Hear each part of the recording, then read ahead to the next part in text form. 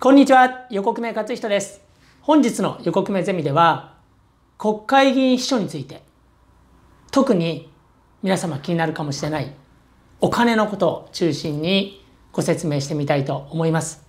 さて国会議員秘書と言いましても公設秘書というのと施設秘書大きく分かれております。公設秘書っていうのが公で設置する国から給料が出るというものなんですがさらに公設秘書の中で政策担当秘書公設第一秘書公設第二秘書という3人がいます。その中で特に政策担当秘書というのがまあ事務所でも中心になりがちではありますがそこが国家資格なるためには資格が必要ということになります。で合格率10%未満ということで難関試験。その試験を突破するか第一第二秘書公設秘書を10年以上経験して研修を受けてそれからなるっていう他の道もあるんですが原則試験資格を取る必要がありますその他第一秘書第二秘書また施設秘書というのは資格が不要ですので政治家が必要と思う方を大学卒業すぐにまたはボランティアから他の職業から引っ張ってきてということで採用するケースもあります。で公設秘書の方が、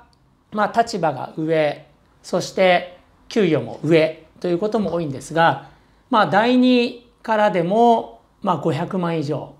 第1政策となると700万以上っていうのがスタートそこから年齢を重ねて経験を重ねるとそれぞれ800万以上または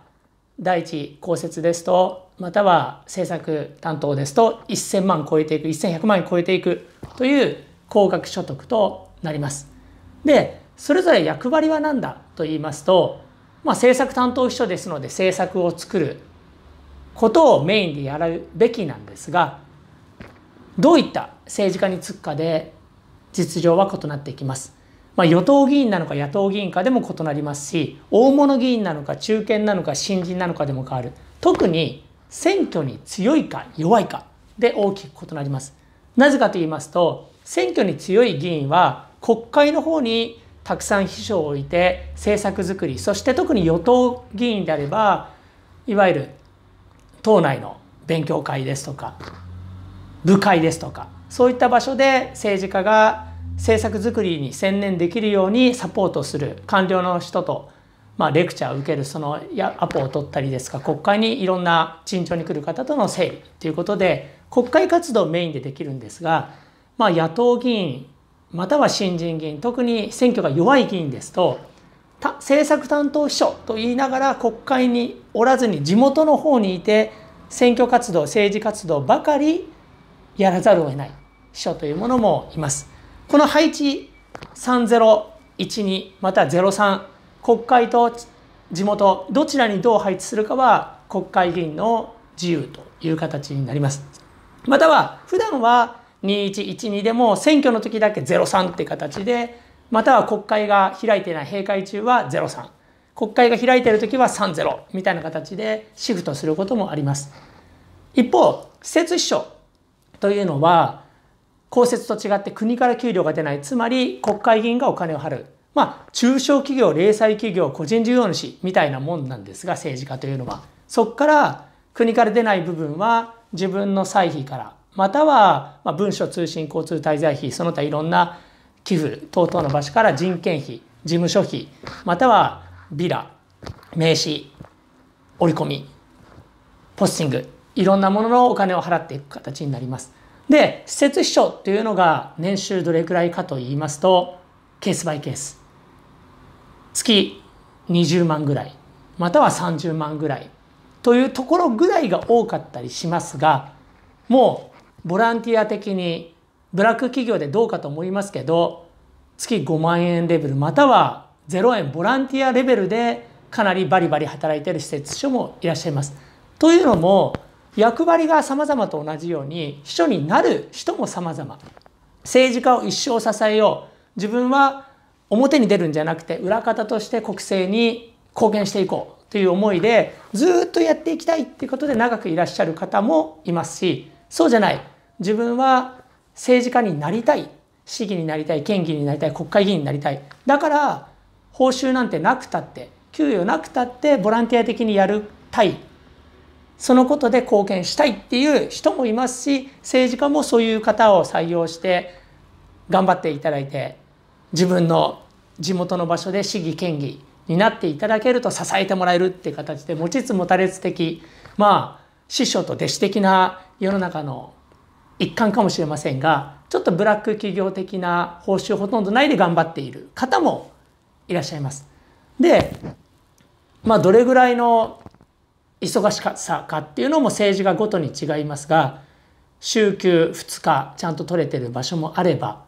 今度地元の方ですと地元のイベントに出るパーティーに出る式典に出るまたはお祭りに出るそれに全て同行するそうなると土日もずっとですし朝の駅頭活動「おはようございます」ってビラ配りまでする等々でもう週休ゼロ